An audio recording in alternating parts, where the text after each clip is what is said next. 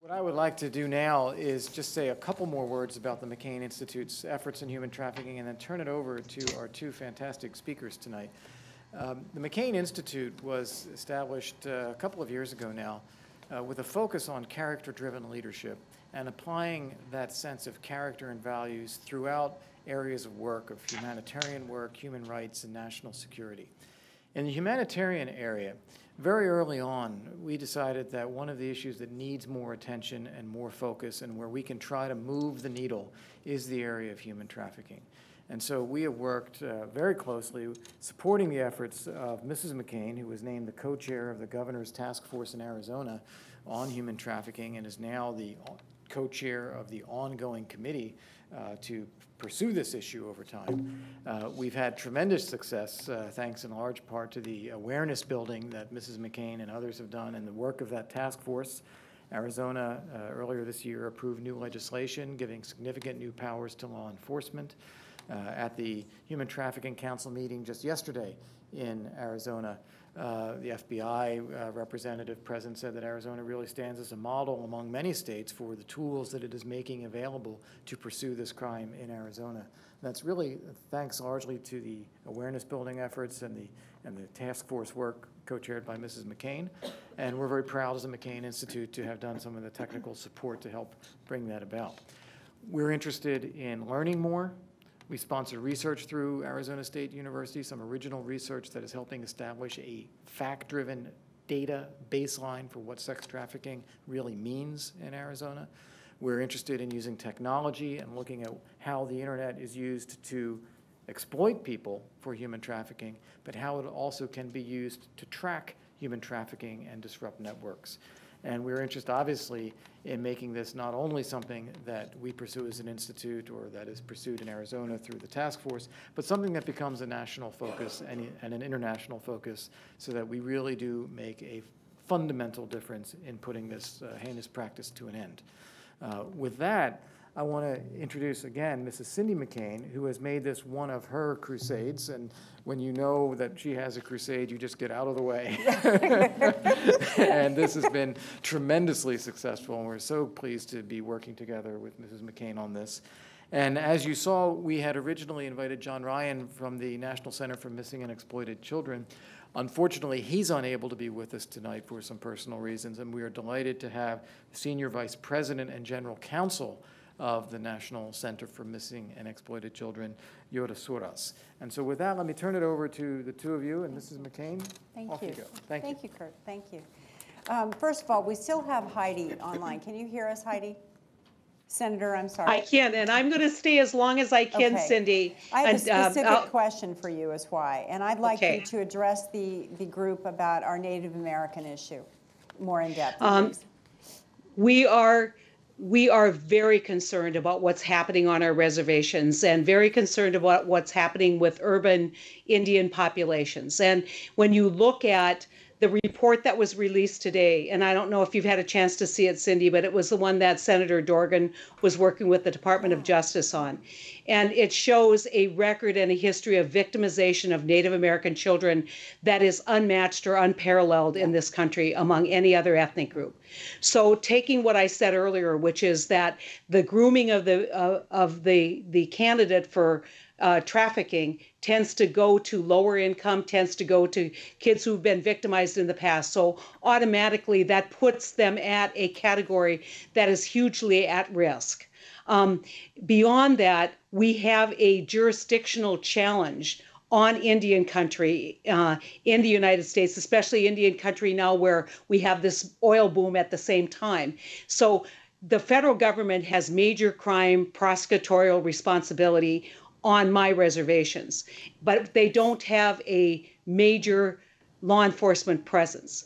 It almost, and I'm not exaggerating to tell you that in many cases, it's lawlessness, um, frequently on reservations. And it is open season for victimization. I just talked to a tribal judge this morning who told me of um, uh, ver- various conclaves or pockets within the reservation at the Mandan, Hidatsa, and Arikara Nation that um, they know trafficking is happening. And by the time the neighbors report it, they've cleared out and it's very mobile. And so it's very, very difficult to get a handle on. We have a natural population that is, is subject to victimization, and we have to look at this in a special category because of the jurisdictional challenges, especially when it occurs on the reservation. And frequently, the other concern that I have is for treatment of the victims. Um, I talked to prosecutors in Minnesota. We have a lot of urban Indians in Minnesota who then migrate on and off the, the reservations, on and off Indian country.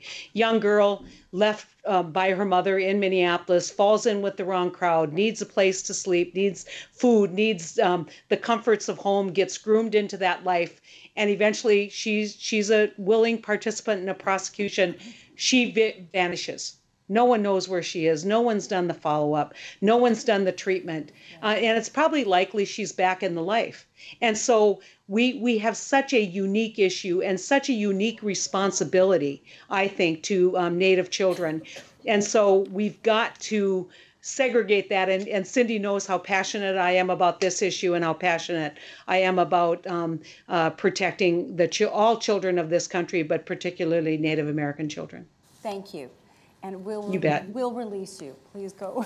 I don't want to keep you any longer. Make a run for the floor. Thank you. We'll see Thank you later, much. Cindy. Thank you. Bye-bye. Thank you. Yiota, thank you very much for coming. Thank I you am for so pleased me. to see all of you here too. Um, I'm really, I was really anxious to get that question answered from Senator Heitkamp because it is obviously an issue that affects Arizona as well and many other southwestern and western states. Um, I am so pleased to have you here I, for, for many reasons, but we were chatting on the phone earlier today, and uh, to have a legal aspect of this, someone with, an, with a legal eye on it and a legal thought process on this is extremely important because that's where we're at right now nationally is, is in the process of not only formulating good legislation but passing it. And so we, I'm really glad you're here for a number of reasons. anyway, I'd like to start with what I call a lot of these conversations, and I know there's many of you in the audience that have a history with human trafficking. You work in the arena, uh, you're with an NGO, whatever it may be. But I would like to start with, for those online, uh, Human Trafficking 101. Can you tell us exactly what human trafficking in, what human trafficking is, and is there a real definition, one definition for it? I, certainly think um, you know different nonprofits that focus perhaps on, on sex trafficking or labor trafficking, et cetera, might have a slightly different definition. Um, you know, at NCMEC, at the National Center for Missing and Exploited Children, we focus on child sex trafficking, uh, and we generally would you know look at that as any scenario where a child is placed in a situation where they are trading sex for something else. It, it could be money, it could be money to a third party, it could be money to themselves, but but it could also be um, exchanged for anything else, a bed for the night, Right. food, etc. Yeah, shelter. Exactly. Yes, yeah. Um, I know that we were chatting earlier, and I said my biggest frustration, one of my biggest frustrations in this, when I began all this, was the disbelief that it actually occurs. That it, it, it oh no, that happens in Cambodia, that happens in India, it doesn't happen here. Um, I met with a prominent newspaper who said just that to me that we don't believe it exists. You're going to have to prove it to us. And this is a major newspaper. Um, so I'd like to, to find out from you what NCMEC has done to not only prove it, but to prove to, to the disbelievers, not just proving it to those of us who know it exists, but giving us data, but to the disbelievers. Sure. Well, you know, NCMEC, um, you know, began a little over 30 years ago, really focusing on missing children issues. Um, we added to that a focus on exploited children issues, especially online exploitation, um, the you know distribution of online child pornography, for instance. And several years ago, we started to see um, a correlation between the two departments. So we started to see children who had gone missing, um, mostly runaways, who were then also turning up in an exploited case.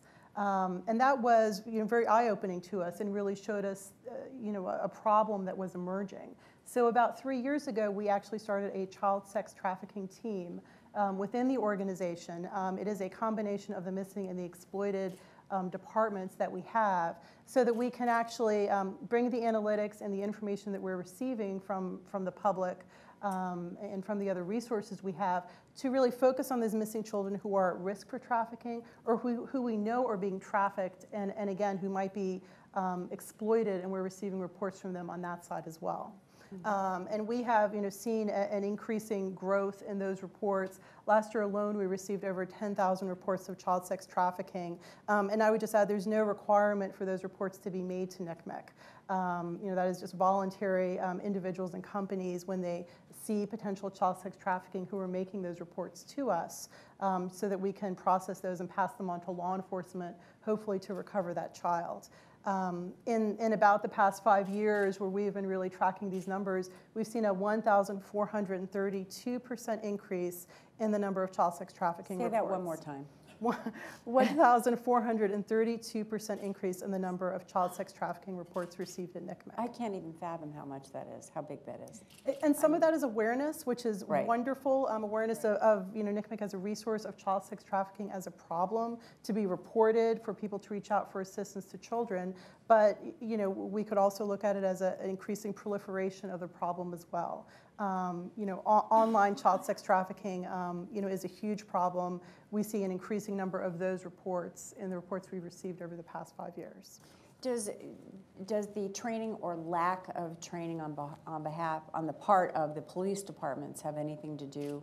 Are we seeing, I know more police departments are now trained in this area, but part of that training has to do with being able to recognize that a child that is perhaps abused in front of you or, or homeless, whatever it may, is also a victim of sex trafficking. Mm-hmm.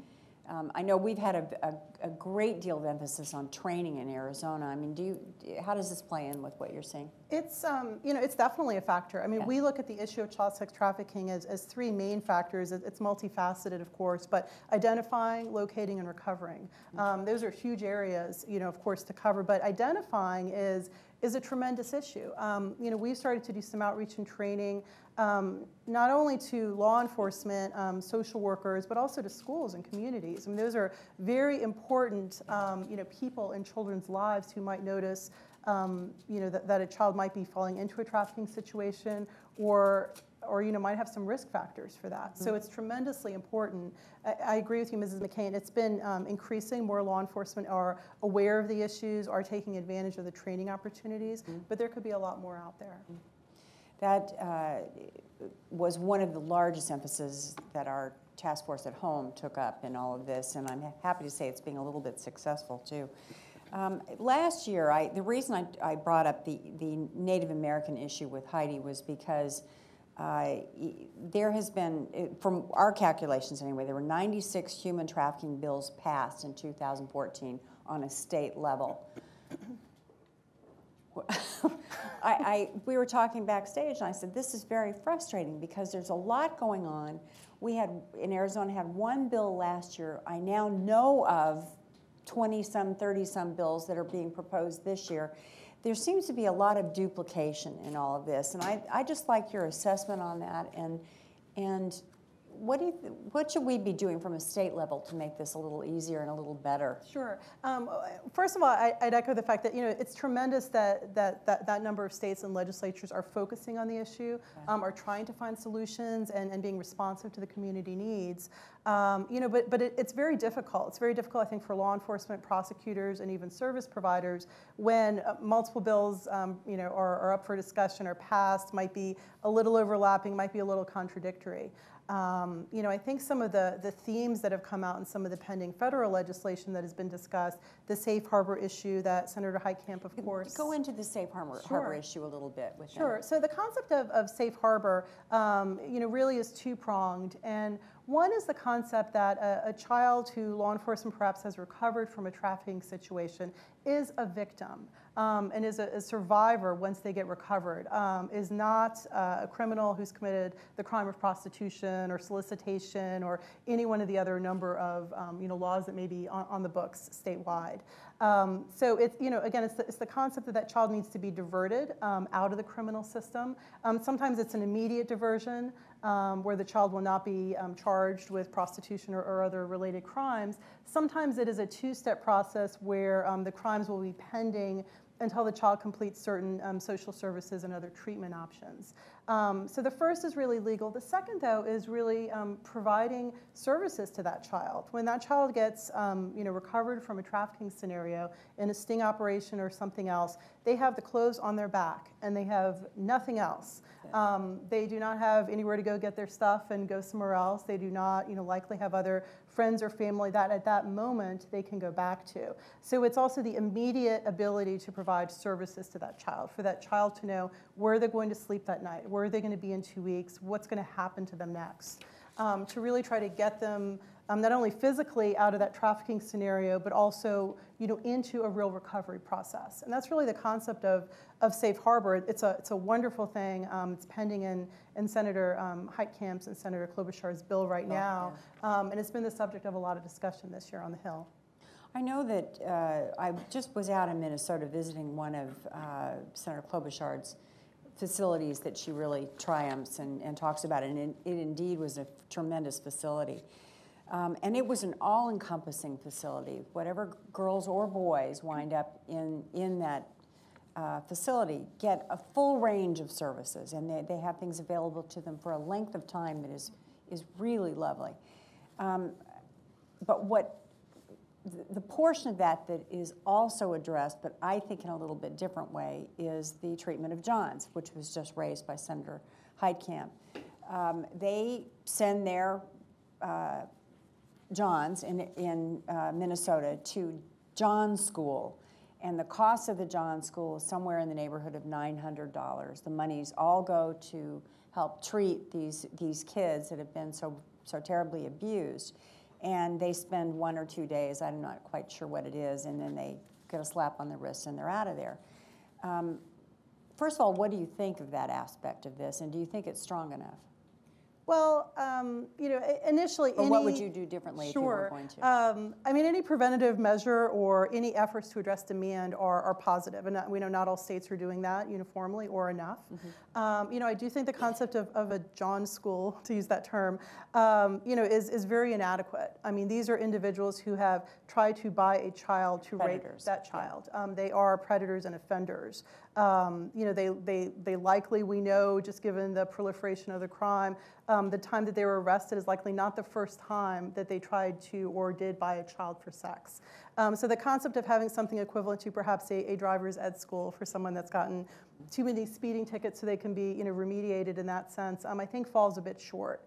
Um, you know, it is a very violent and long-lasting crime that they perpetrate, and I think it needs to be treated as such.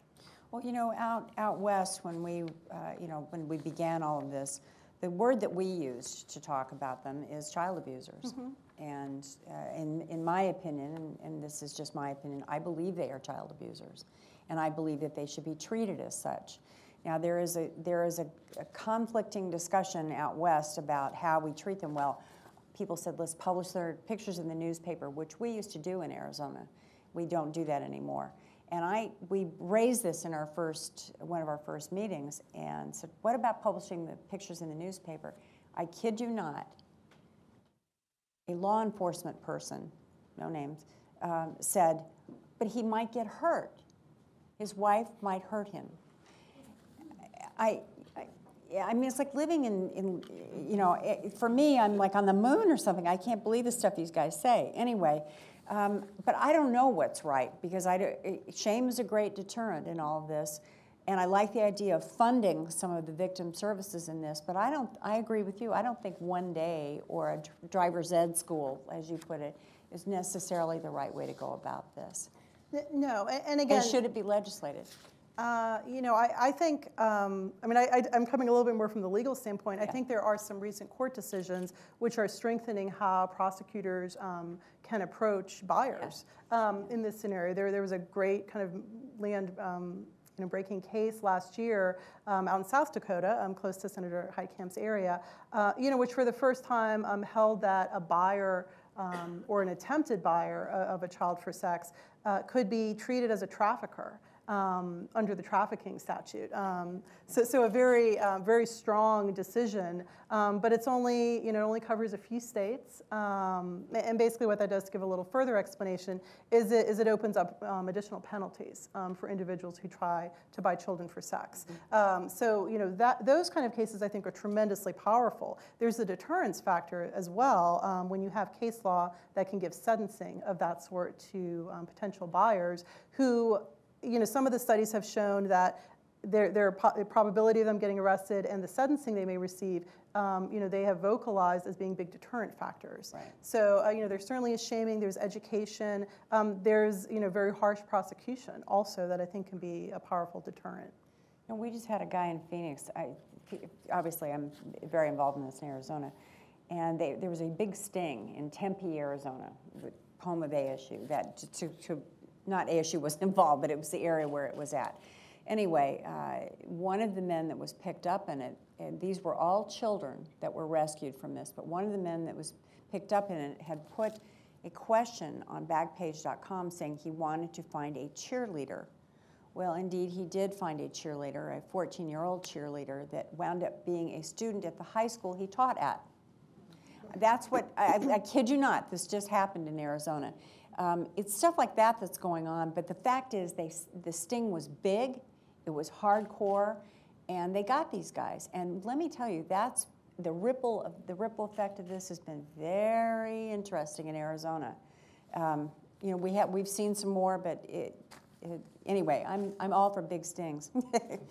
anyway, um, uh, we've been talking about uh, federal legislation. We've talked about the Johns a little bit. We've talked about uh, the efforts that, that you all are doing, but I'd like to talk more in depth about training. Mm-hmm. Training and, um, and uh, how, we, how we educate our own communities. And from your standpoint, from the missing and children uh, standpoint, what I know training is very important. I know that you do that. I know that you participate and help other organizations do that.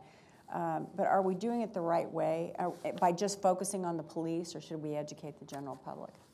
Oh, I think it has to be much broader. Yeah. Um, you know, I, I, think to address the, the first responder need, let's say law enforcement, social workers, um, you know, individuals who are coming into direct contact mm-hmm. with these children is immensely important. And those are the first two training programs that NCMEC has rolled out. Um, you know, one directed to uh, law enforcement and prosecutors, prosecutors, and a second training program really on forensic interviewing. Mm-hmm. So, um, you know, individuals who are trying to draw the story out and some of the details of these children's experiences once they're recovered. But at the same time, we are also um, starting to shift and focus more on community awareness, and especially to children, um, you know, teenagers, so they can be aware of potential luring or potential suggestions that they may receive, whether it's online or otherwise, so they're aware this, this is a problem. Um, and you know, it has to be done in the appropriate manner for the age group, but um, you know, that sort of awareness is very important. And again, schools, immensely important, I think. Um, you know, some schools will, will see a child more than their own family members might, just given school schedules.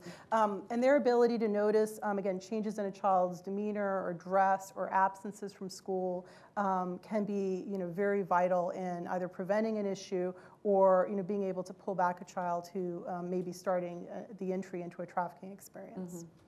Um, I'm sure that uh, educating hospital workers as well uh, mm-hmm. has been, because that was raised with us, and we felt not only was it important, but it was utterly necessary now, kind of thing, because so many of these kids wind up in the ER or wind up, uh, you know, at some point having in, having interaction with the medical. That's a great point. With the medical fields, yeah. Um, one of the things I'm I'm curious about for myself is uh, is law enforcement and the use of the word prostitution. Um, I'd like to know really what you think, you know, your view on, the, on this, and should we be doing that a little bit differently? I, I have a hard time calling a 12 year old child a prostitute. Well, we've categorically moved away from the term prostitution yeah. within NCMEC. Um, you know, organization-wide, it is, it is not a term we recognize. It is not an appropriate term. A 12-year-old cannot be a prostitute. Um, an 11-year-old, a 17-year-old. Um, we use the term, you know, child sex trafficking victim or child sex trafficking survivor, mm-hmm. Um, and, and, that is done uniformly. There is a, a, wonderful piece of legislation that's pending right now, which would actually alter um, the enacting legislation that NCMEC has um, to change the term prostitution, child prostitution, from one of the areas that we focus on to child sex trafficking. And we think that is, you know, very in keeping with, with how all the service providers are referring to this problem. Yeah. I, uh, not only do I agree with that, but we've, at least, we're trying to make a serious effort in changing the language and changing the approach to this. Uh, It's difficult, though. It changes the mindset Yeah. also. I mean, just to, you know, for, for law enforcement especially who might be used to, um, you know, the criminalization of prostitute and what that means and, and the statutes criminalizing that sort of activity, you know, to, to approach a child and immediately think of victim or survivor and not the word prostitute in their head. Um, and for that child, not to hear that term when they are, again, brought in from a sting operation or something like that, for them not to hear them themselves referred to as that term um, is very powerful also, we feel. Well, uh, uh, let's go offshore for a minute, because I, I know that you all do, do, you were very, very active offshore. Um, And organized crime, because this is the bigger picture in all of this, is how organized it is. Can you, would you tell our audience and talk a little bit about organization, who this affects, kind of money involved, all those kinds of things? Sure. The, the money question is always a very difficult one. I mean, this is I think a, it's big.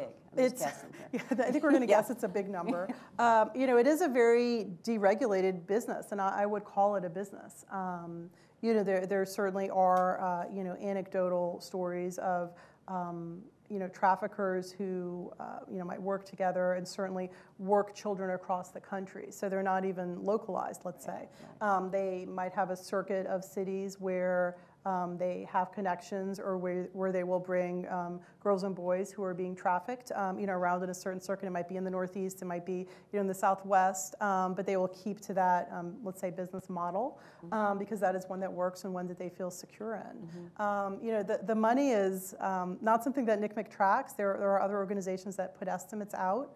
Um, you know, we know that some of the online uh, advertisers, um, such as Backpage and, and some of the other companies out there, charge for ads, um, and they charge for escort ads only. When we say escort ads, um, those are prostitution ads, and that includes um, ads of children being trafficked as well. And, and those numbers are estimated at, you know, in, in the many millions a year um, in revenue.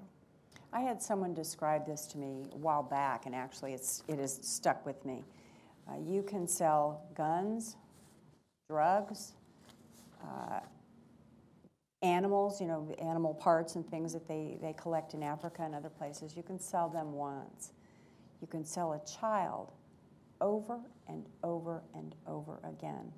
Um, the McCain Institute has estimated that, that one child is worth in the neighborhood of a half a million dollars to a trafficker or a pimp. Half a million dollars for one child. Uh, so if you've got a stable of six or 7 children, you're in the money. Um, one of the things that we have talked about a great deal is the propensity for this to, go, to, to move offshore. One of the arguments that was given to us, you know, particularly, and we'll, we'll get into Backpage, I'm saving the best for last, um, but, but a lot of these online, uh, uh, what do you call them, uh, advertisings and all these things, uh, say, well, if, if, you, if you stop it here, it'll just move it offshore. It'll just, so, so we, if we keep it onshore, then we, we can watch it, we can keep control of it. That was actually said to me one time. Um, so, so I guess my question to you is, it's already offshore, and it's offshore in a major way. How far off and how far deep does this go, do you think?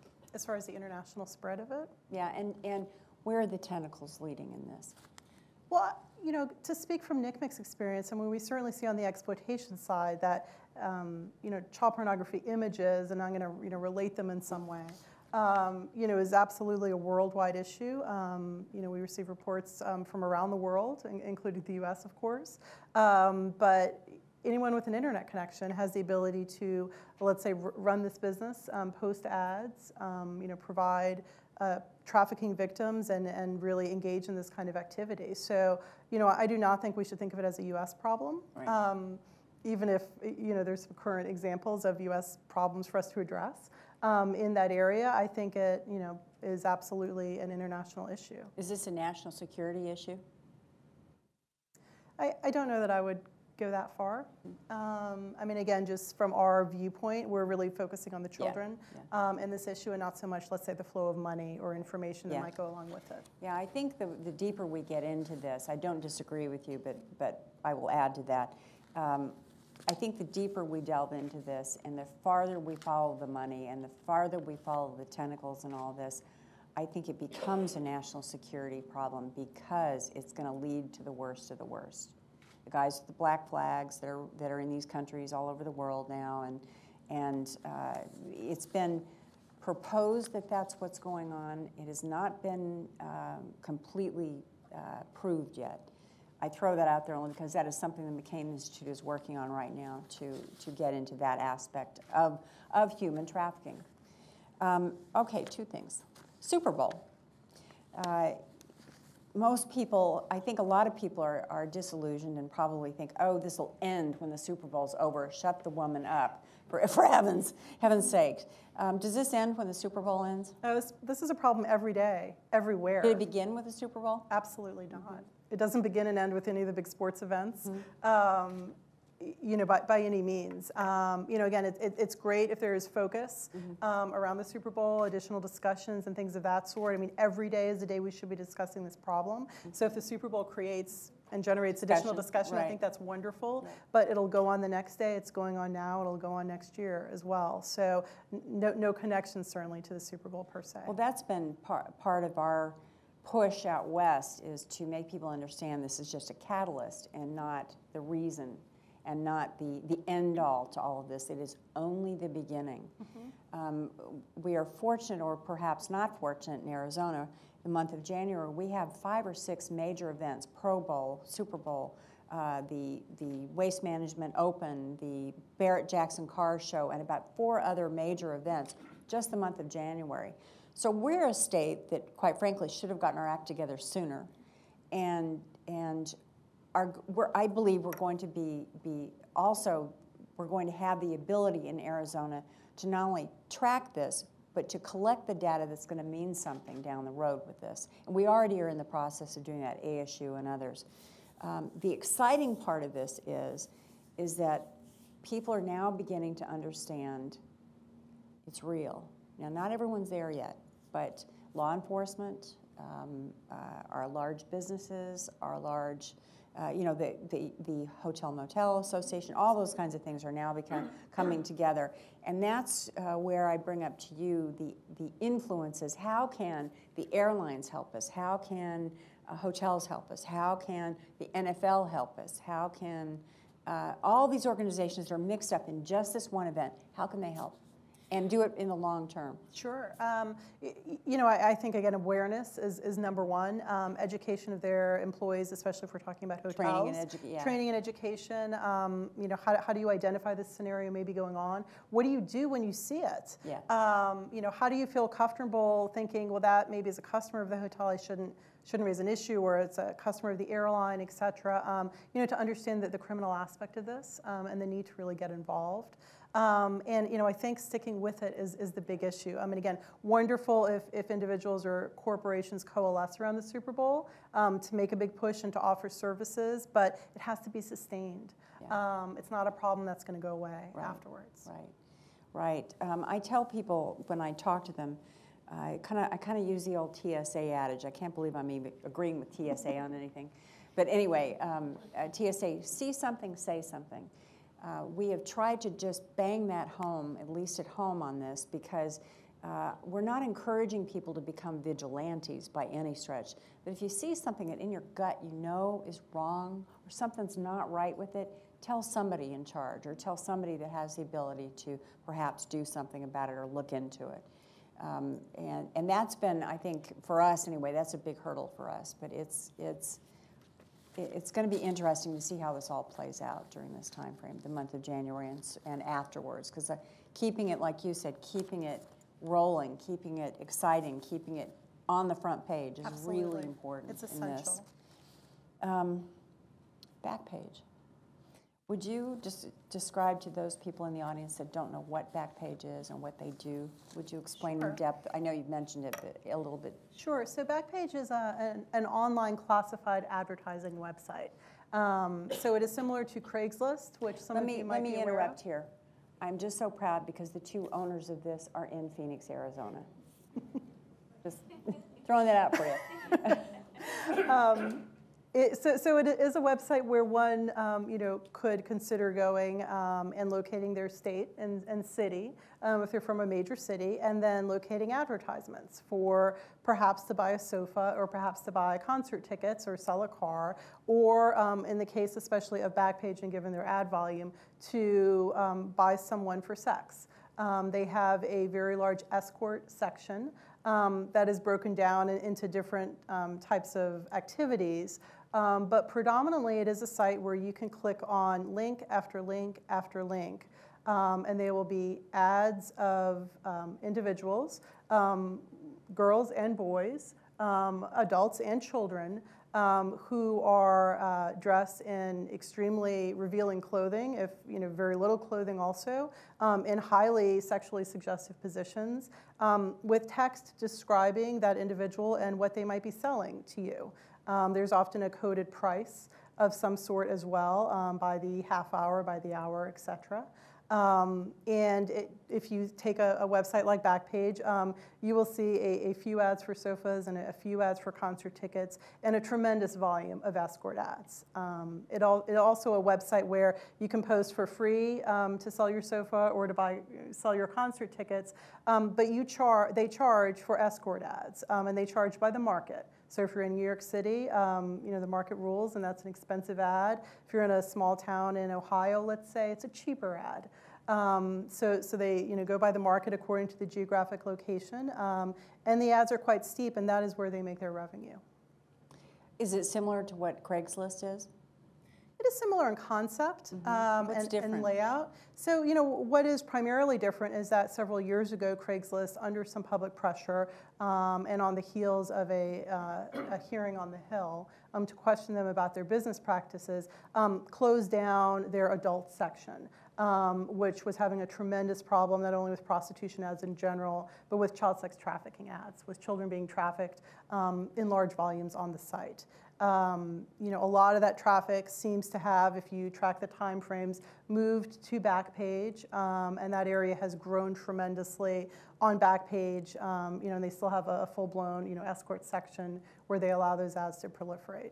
And can you describe to uh, our, our audience what back, Backpage's excuse is for this and what they say they're doing to prevent this? So Backpage has, um, you know, through the media and, and hearings um, and, and really other public occasions, um, really cast themselves in the light um, of being sort of the, in the words of, of one of their officials, the, the sheriff of the internet. Um, so a company that is doing everything they possibly can to protect children, um, to screen ads, to report to law enforcement or to assist law enforcement when you know there, there might be illegal activity going on um, on their website, and to really be as helpful as possible regarding these ads. Um, and so, so that is how they sort of balance when they are criticized quite often about um, the content on their website. Is they say we actually are helping the situation. Well, and the, and the, the issue that they've hidden behind for so long is, is that of the Constitution and freedom of speech, uh, which is a tough one. I mean, that's clearly we all believe in that, but um, in this case, I think it's a real dicey one.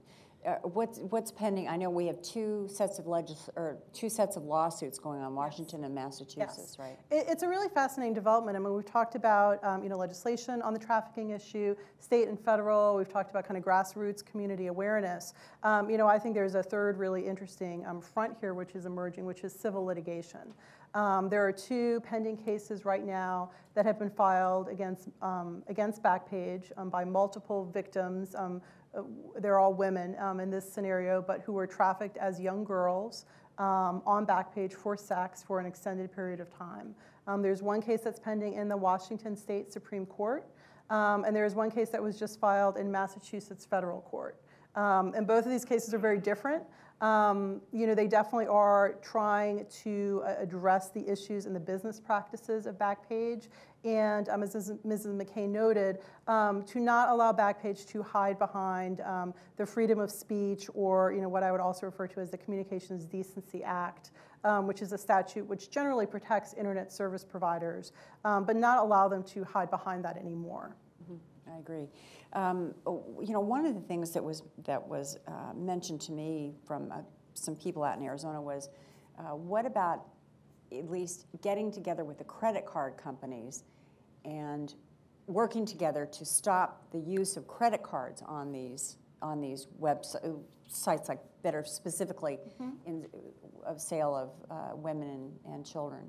I mean, does that does that have any ability to go anywhere, or I mean, what's your opinion? Um, you know, I, I, think it's a tremendously powerful idea. Um, I mean, they, they charge for these ads. We, we know that, and the credit card is the vehicle mm-hmm. that they use to do that. Um, you know, in fairness, the credit card can also be used on other parts of the site. Right. So, you know, this is where yeah, yeah. Uh, the, some, some of these internet websites get very difficult when you're thinking about regulating or carving out the bad activity um, that's on them. But I, I, think it's an idea that has a tremendous amount of, of potential. Mm-hmm. Um, one of the things that we that we were talking about backstage was uh, she mentioned them hiding behind and kind of calling themselves the sheriff of the internet. Uh, they proposed to say that they check all of these site, all these these purchase web uh, ads uh, for age, for for propriety, for you know that making sure that everything's in line, that all of these children are protected, and that they actually turn the information over to law enforcement. Now, I know that they turn some things over to you. Uh, can you just can you talk a little bit about that? Sure. Backpage is, is one of the companies that does make voluntary reports to NCMEC. They're not under an obligation to do so. Um, so they do make reports to us um, of ads that for some reason they believe has a connection to child sex trafficking. Mm-hmm. Um, that, you know, they, they typically don't provide us much more information than that. Um, you know, we of course will, will work that report as we would any other and make it available to law enforcement. Um, but you know, they do talk a lot about their moderation.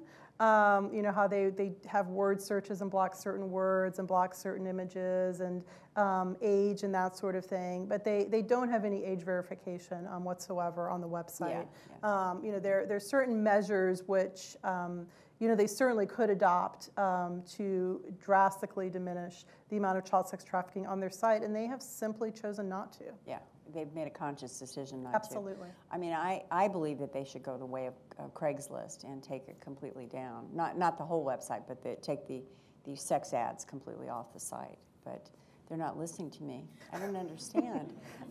they're not listening. Listen, uh, we've got a few minutes left. I'd like to open it to questions if you, if you all would like. Please, please, when you stand up and talk, do we have microphones or anything? Raise your hand and introduce us to you, please, and who, and who you're here representing or not representing. please, right here. Mike Barry. Wait for the, right there. Thank you.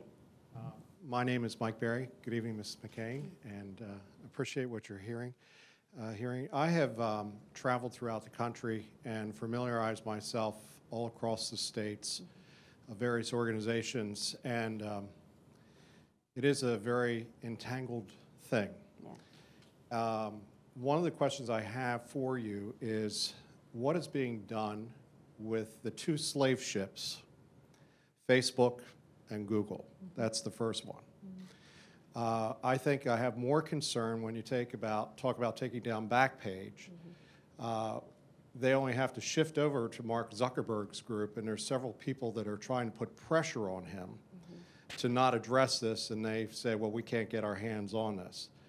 Uh, the second question I have is, is that most organizations across the country um, are not addressing the rescue sides, what happens mm-hmm. to the children afterwards. Afterwards, right. Mm-hmm. And uh, they keep going after the Johns or they keep going after the pimps when actually we have uh, people who've come forward that are now uh, admitting to, I'm talking about that this is a big business run by madams and uh, large pimp, there's actually a pimp award mm-hmm. ceremony like the Academy Awards in Chi- Chicago. And they've given two madams, one out of Washington and another in Chicago, the uh, Pimp of, of the Year award for trafficking children. Only in America. And uh, my question to you is, is why are we staying down on these lower levels when there are legislative pieces that could be addressed and addressing this from a business standpoint? Because you've got Facebook, you've got Google, you've got this, the- this operation, which is run by the crime families and whoever. Um, And I don't see any movement on a federal level as well as a state level to go after these corporations. Well, I'll answer from the, from the NGO level, and then if you'd like to take a crack at some of this. First of all, the, thank you for your question. Uh, the Facebook aspect and the Google aspect, um, I've had direct discussions with them. Now, I'm a very small cog in all this. I've had direct discussions with them, not only on stopping this, but participating in fixing this.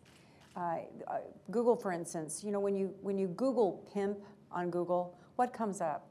These guys dressed in furs and Cadillacs. I mean, they glamorize being a pimp. Now, I realize we can't control information, but maybe one or two of those pictures could be some lousy guy that's got tattoos and he's in jail. I mean, maybe something. It's just a changing in attitudes. You know what I'm saying? And, but I can assure you that the, the woman that is in charge of Facebook is all over this, and she is a huge anti-slavery pers- slavery person. So rest assured, there are people at top that get it and they want to fix it. Uh, and, and that's with Facebook, I mean. And Google, Google, I believe, is the same way. They're not in this to harm anybody.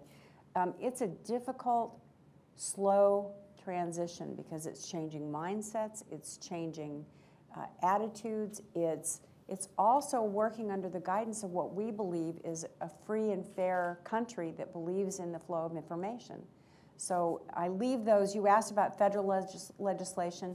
I'm sorry that, that our senator is not here because I would really have liked to have heard that answer from her. Do you have anything to add to that from I the think- legislative aspect? Sure, I, I think there, um, you know, are attempts um, and certainly discussion about, you know, how to approach this from uh, perhaps a business sense, um, a regulatory, um, you know, sense as well, perhaps. Um, you know, the internet is, is fairly new, really, as, as let's say an industry at large. Um, it is, you know, facing perhaps increasing regulation in some ways, but it's it's really crafting it from the beginning. Um, so these are very hard concepts, and as Mrs. McCain noted, um, you know, it's a core um, belief in this country that the internet should be free um, and open in many ways. And I think that's something everybody is for um, with some protective measures. And it's how to put those in place that's very difficult.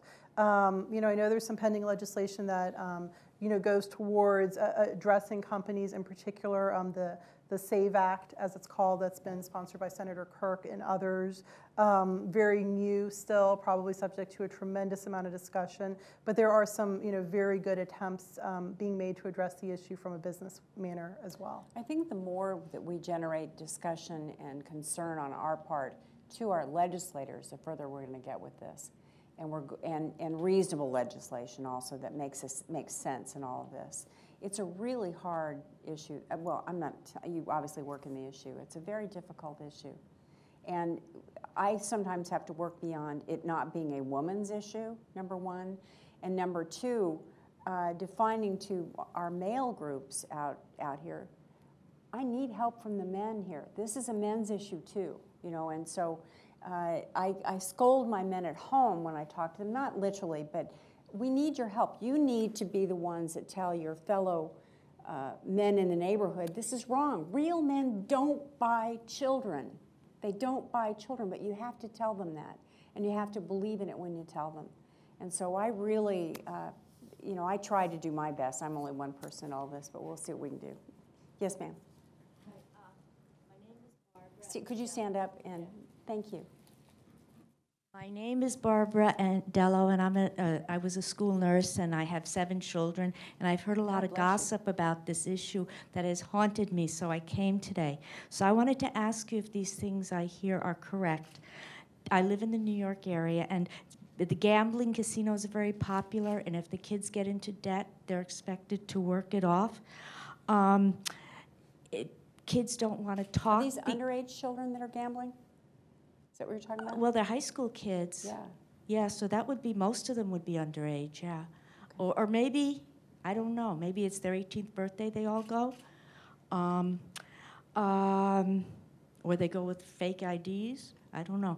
Um, threats of uh, they don't want to talk because of threats of bodily harm, hurting someone you love, threats of having something on you like pictures or something you've done, or they've been given drugs to take off the edge and then they need the drugs.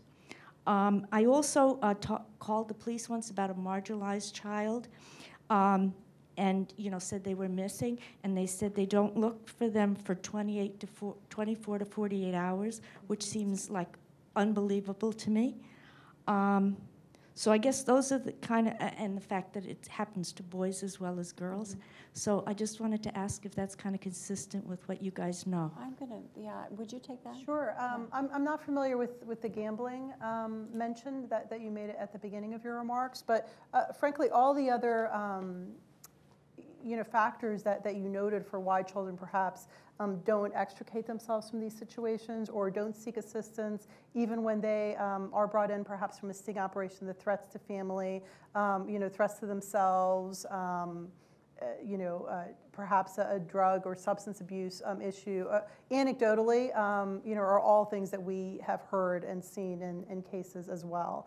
Um, you know, children are often, um, you know, really schooled in a story to tell when they are picked up by law enforcement, um, and, and specifically told, uh, you know, for instance, not obviously to release their their pimps or their traffickers' names. So, um, you know, again, going back to the organization level of this, there's a plan in place for when the child gets arrested, what it is they do, so that you know they get out soon, and um, and that's the end of it. And threats are a tremendous um, part of it as well.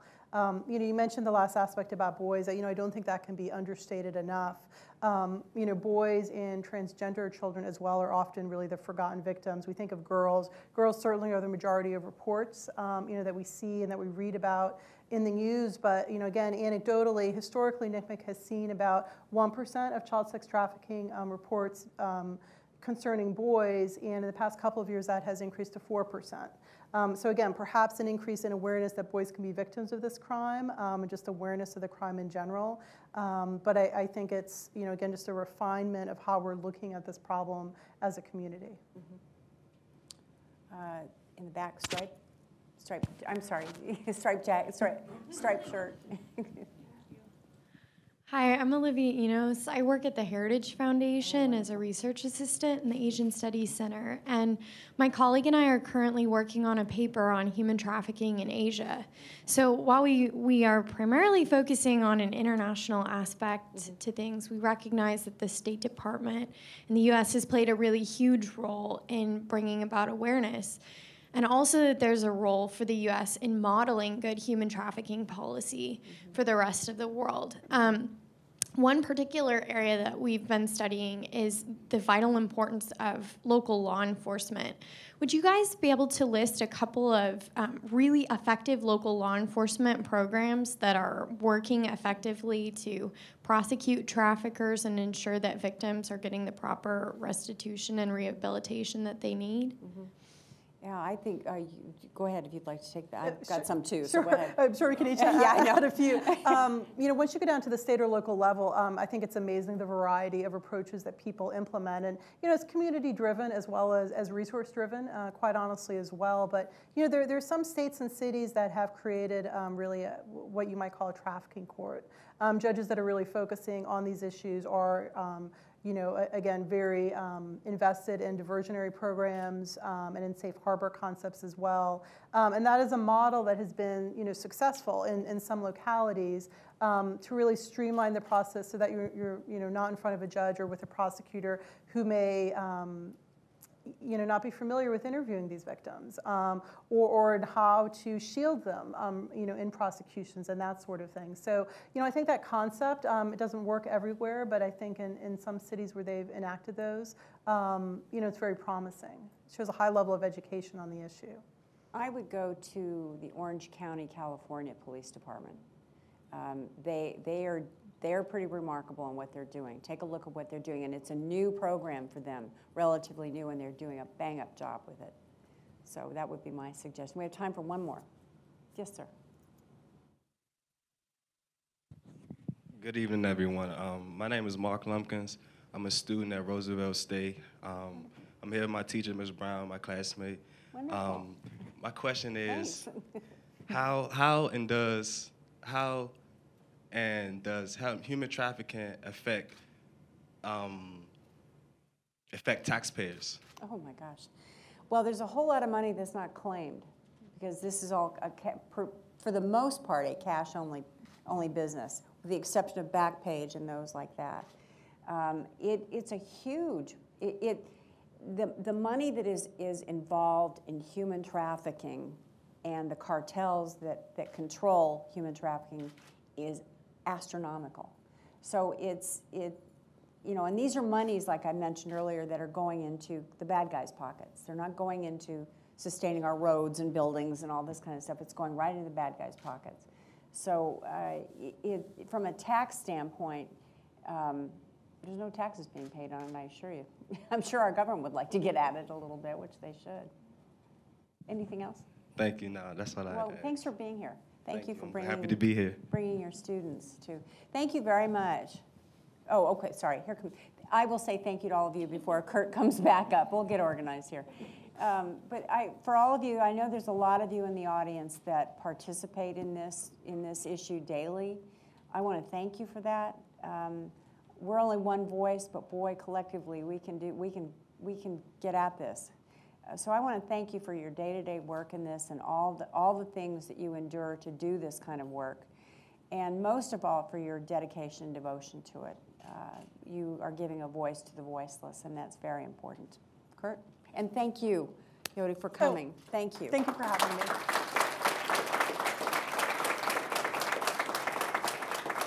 you can- as you can tell, these are two very powerful, very determined, very informed advocates for stopping this practice, and I want to thank you for devoting your evening to this as well. Uh, Please, as you go out from here, do talk about it. Do share what you've learned here or what you've heard about here. Look into it. It has to be a community-driven uh, approach to change. And I think that's what we're hearing from Mrs. McCain and and Ms. Souras. And uh, thank you again for coming, and please join me again in thanking the two great Thank speakers. you. May Before you, before you all leave, may I say this? Um, The McCain Institute is not a think tank. We're a do tank. We're an action tank. So everything that we undertake has a purpose and a way to get involved with it. Uh, That's what I encourage you to do. We can, I- I- obviously, we need our people to think and, and, and do these things for us, but we need to get active, more importantly, and that's where we rely on you. Thank you. Thank you.